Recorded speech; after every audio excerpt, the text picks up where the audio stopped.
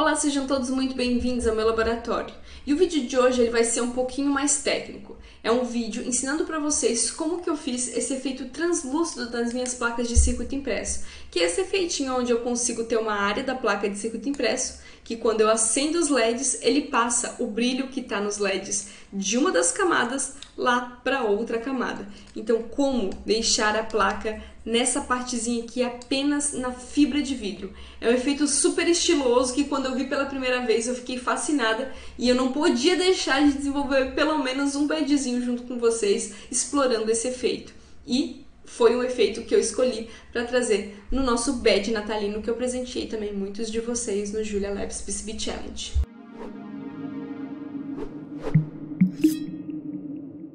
E o vídeo de hoje ele é patrocinado pela PCBWay. A PCBWay é uma fábrica que produz placas de circuito impresso com um ótimo custo-benefício. Foi com eles que eu mandei fabricar essa plaquinha aqui e vocês podem ver aqui nas minhas mãos, tá? todo a qualidade do serviço que eles entregam. As placas ficam maravilhosas e com um ótimo custo-benefício. Inclusive, para fazer esse efeito aqui, eu já vou começar dando uma dica. Eu escolhi para fazer essa plaquinha aqui a espessura de apenas 1 milímetro, ao invés de 1.6, que é o mais padrãozão para as placas de circuito impresso.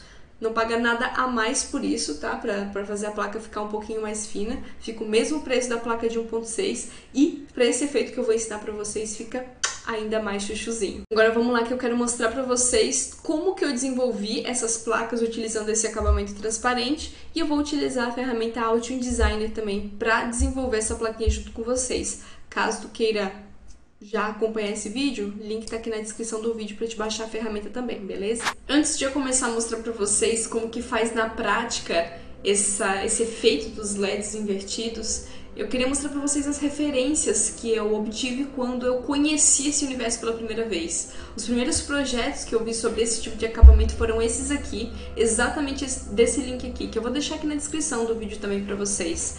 Então, foi esse esse pequeno texto aqui, esse pequeno post que eu vi no, no Hack Day, falando sobre esse efeito dos LEDs e também mostrando que tipo de LED era esse, que é um LED chamado Side View LED. E existem diversos tamanhos para esses LEDs, mas são LEDzinhos que tu vai montar na tua placa de circuito impresso e que aquela partezinha do LED, aquela, aquele acrílicozinho do LED, aquele plastiquinho, ele não vai ficar para cima, ele vai ficar para o lado. Então é um LED que tu monta de lado na tua placa de circuito impresso, ou que também ele tem essa possibilidade de ser montado de lado também, porque nada te impede também de montar esse LED para cima, tá? Então esse daqui é o tipo de LED e esse daqui é o efeito que ele traz na placa de circuito impresso. E normalmente tu tem que colocar diversos LEDs ali espalhados atrás da placa para trazer um efeito bem legal. Outra referência que também ainda do Hack Day para mostrar para vocês, existem também algumas outras técnicas, né? Tu pode também colocar o teu LED comum montado de maneira inversa assim na tua placa de circuito. Dá um pouquinho de trabalho, tá? Mas funciona. E também tem alguns outros LEDs que eles têm essa esse essa partezinha do padzinho dele já um pouquinho maior que vai te facilitar para fazer essa montagem. Essa daqui é uma uma referência, né, de como que tu vai fazer essa montagem, então meio que vai ficar a teu critério aí como que tu vai fazer, se tu vai selecionar um side view LED, se tu vai pegar um LED normal ou se tu vai adaptar algum outro tipo de LED para fazer essa montagem.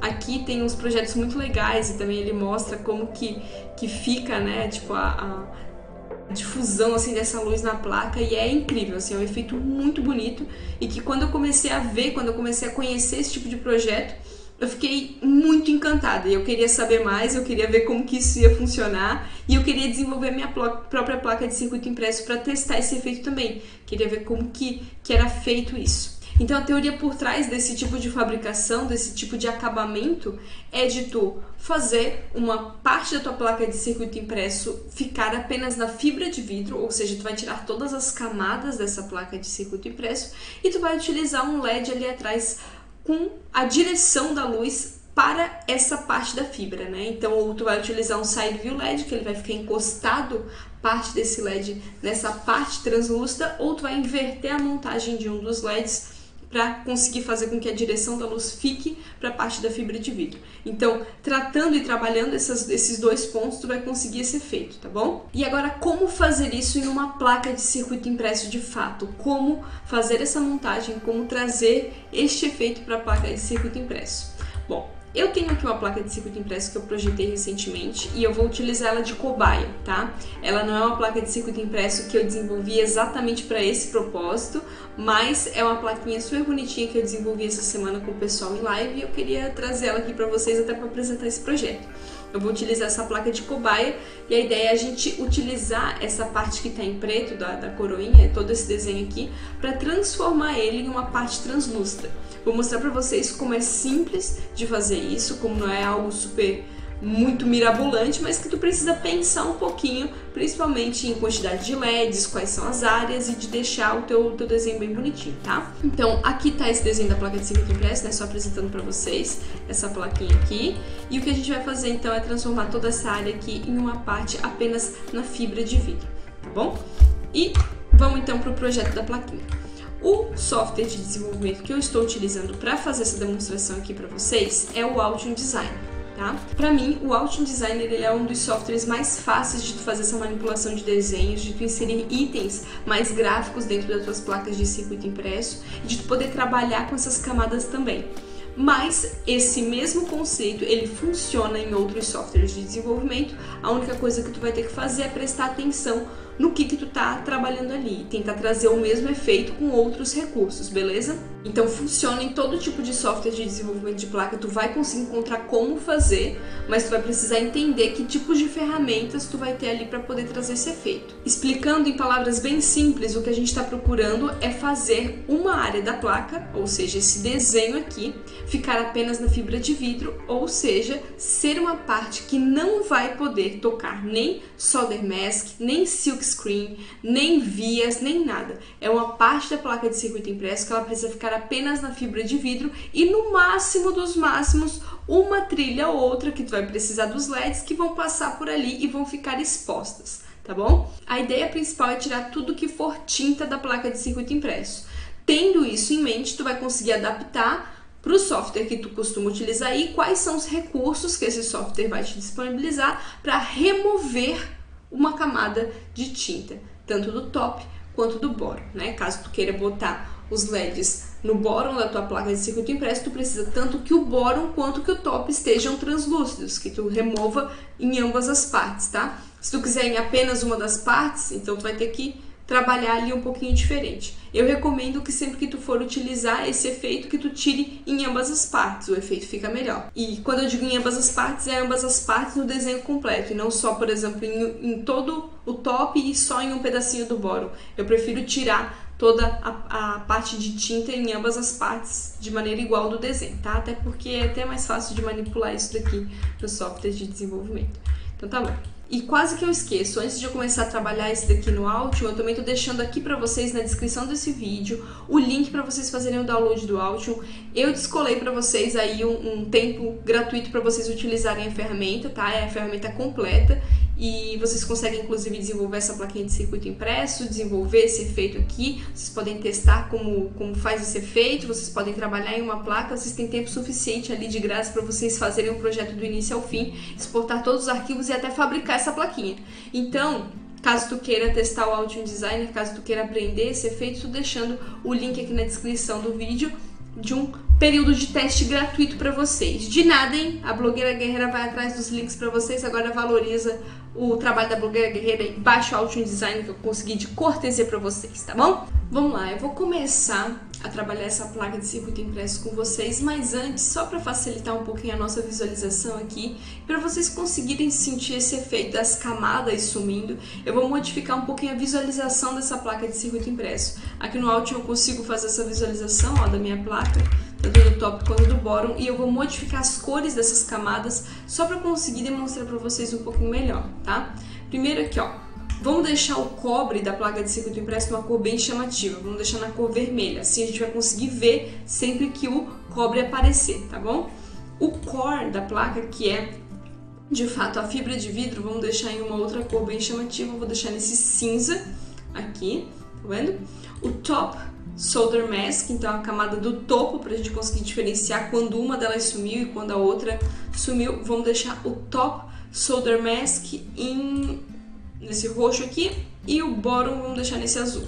Ok, agora nós temos essa placa aqui, ó, tá vendo? A gente consegue ver que a camada de tinta tá em azul, camada de tinta do top tá em rosa e nós estamos procurando deixar toda essa área da placa de circuito impresso, que nesse momento aqui está representado por preto, porque ele está na silk screen do top, a gente pretende conseguir visualizar apenas nesse cinza, apenas no core da placa, tá bom? Vamos lá então agora para a parte do desenvolvimento de fato aqui, né? O que, que a gente vai mudar no nosso projeto. Deixa eu voltar a visualizar aqui todas as opções do que a gente tem aqui e vamos começar a manipular essas camadas. Primeiro, uma coisa que todo mundo precisa ter em mente, o que a gente está procurando fazer é tirar toda a camada de cobre da nossa placa de circuito impresso no top, toda a camada de cobre da placa de circuito impresso no bottom, toda a camada de tinta do top e toda a camada de tinta do bottom. Então são quatro camadas que a gente vai manipular: cobre do top, cobre do bottom, tinta do top, tinta do bottom. Tendo isso em mente, depois tu adapta aí para o software de desenvolvimento que tu estiver utilizando, tá bom? Então a ideia é remover essas camadas. Eu tô com essa camada aqui e a primeira coisa que eu consigo ver é que tipo de camada que ela tá aqui, aonde que ela tá. Aqui no Altium Designer, quando ele está em Top Overlayer, significa que ele está, então, na descrição, nas escritas, no desenho da Silk Screen do top. E eu posso mudar essa propriedade aqui, botando, por exemplo, para Top Solder, e vocês vão ver aqui que alguma coisa já vai mudar na nossa placa. Mudando aquela camada lá para top solder, olha só o que aconteceu. Eu consigo visualizar nessa parte aqui da camada, né, do desenho, que eu mudei para top solder apenas o que? Apenas o cobre da placa. Ou seja, já consegui remover a tinta que estava aqui no top. Vamos remover agora a tinta do bottom, porque vocês vão ver que aqui no bottom nada aconteceu. A gente mexeu só numa camada que estava no top, ó. Então aqui nada aconteceu. Beleza, vamos tentar deixar o mesmo efeito agora no bottom. Vamos lá. Vindo aqui, eu vou só não parar de visualizar a camada aqui do top, só pra gente ter um pouquinho de facilidade.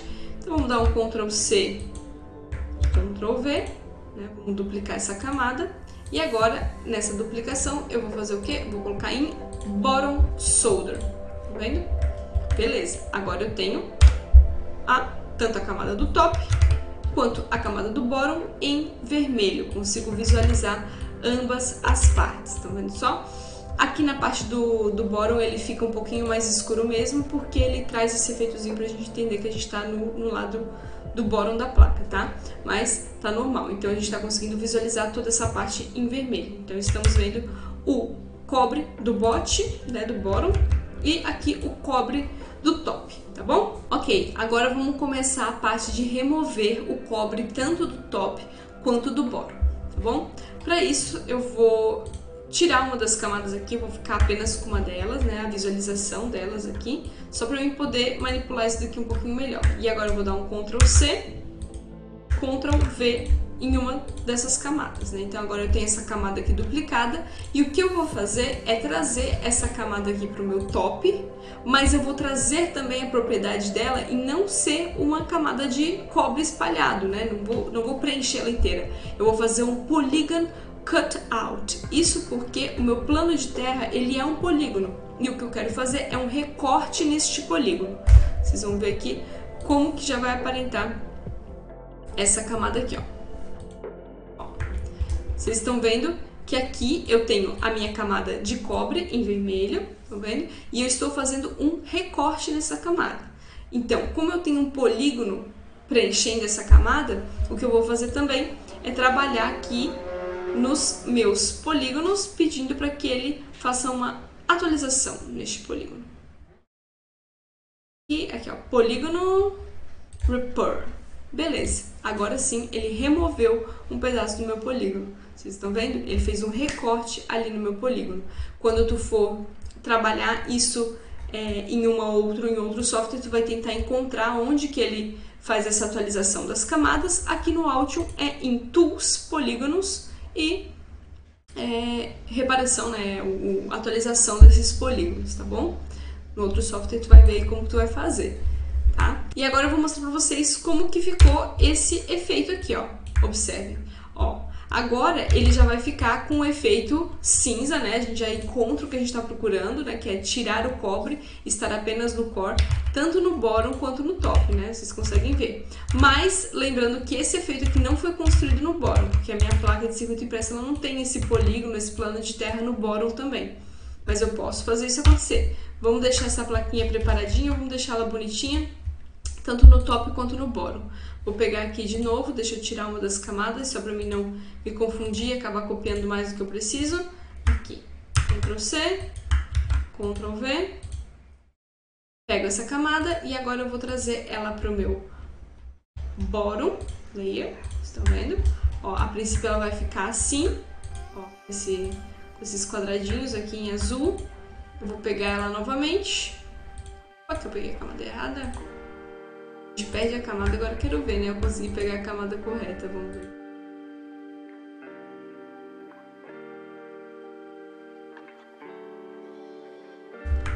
Deixa eu... Mais fácil, mais fácil, ó. Deixa eu fazer novamente.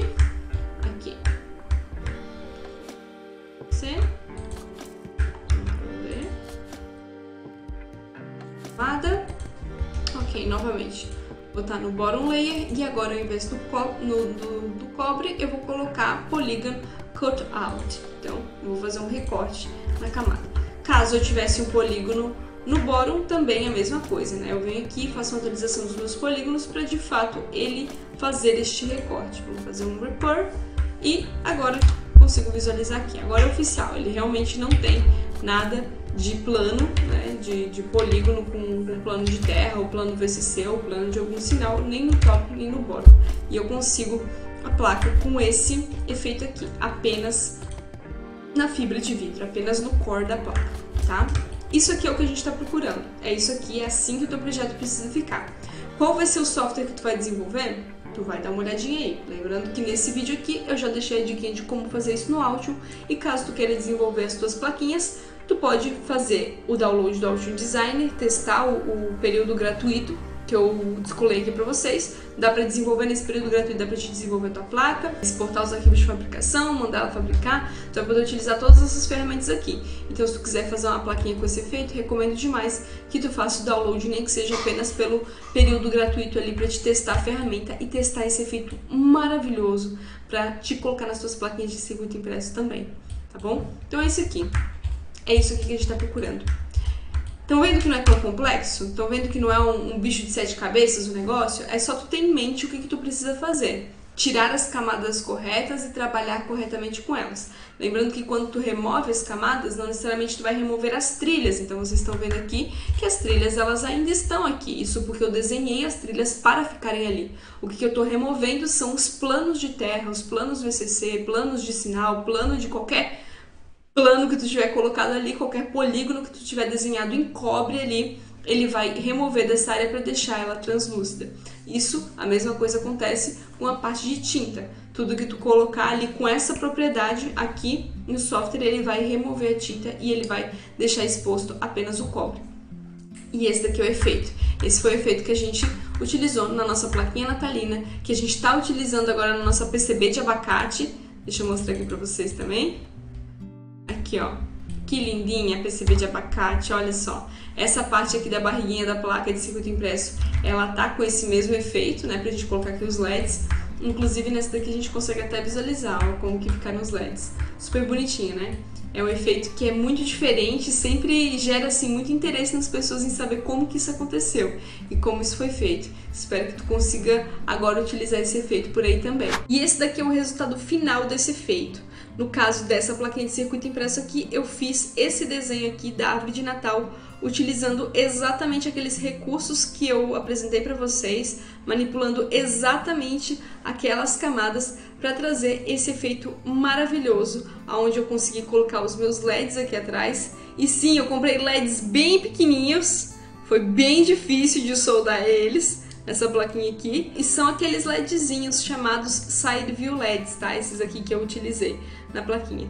E trouxe esse efeito super bacana, né? De noite, no escuro, essa plaquinha aqui fica ainda mais bonita. Realmente o efeito fica bem legal e eu espero que vocês utilizem essas diquinhas que eu passei para vocês hoje para desenvolverem as plaquinhas de circuito impresso de vocês também com esse efeito aqui. Qualquer dúvida, quer conversar sobre isso, não está conseguindo fazer por algum motivo, deixa aqui na descrição do vídeo ou participa do nosso grupo no Discord, que também está aqui na descrição do vídeo, para a gente poder tirar suas dúvidas e conseguir fazer suas plaquinhas de circuito impresso com esse efeito também, beleza? É isso aí, a gente se vê no próximo vídeo e tchau!